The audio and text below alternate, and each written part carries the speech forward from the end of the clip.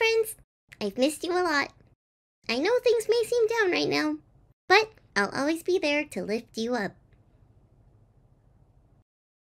Yeah, why don't we lower the webcam?